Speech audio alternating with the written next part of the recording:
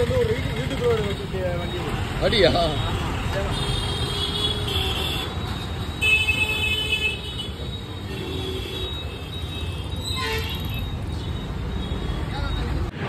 மதுரையில் இருந்து ராஜ்குமார் அவர்கள். ஜெல் ஆண்டு சீட்டு ஆல்ட்ரேஷன் பாக்ஸ் டைப்பு கேட்டிருந்தாங்க.